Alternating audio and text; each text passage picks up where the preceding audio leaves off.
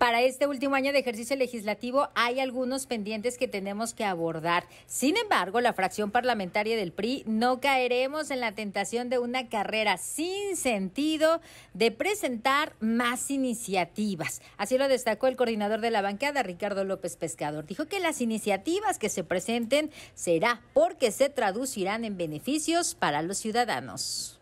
Vamos a iniciar el tercer año de tres en los otros dos hemos avanzado en muchos temas, pero hay algunos pendientes que tenemos que abordar en este último año de ejercicio constitucional y particularmente en este periodo septiembre-diciembre.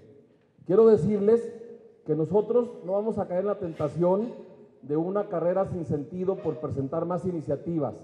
Queremos presentar iniciativas con contenido social, que verdaderamente eh, correspondan a una demanda de la sociedad, que realmente le sirvan a Durango, no para el lucimiento de los diputados, sino para que Durango tenga una legislación actualizada, un marco jurídico que le permita salir adelante a las familias y que permita el desarrollo económico del Estado.